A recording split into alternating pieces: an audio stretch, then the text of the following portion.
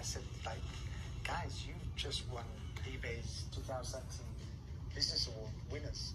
This kind of moment of silence for two or three seconds, then there's, the screaming. It's just really cool.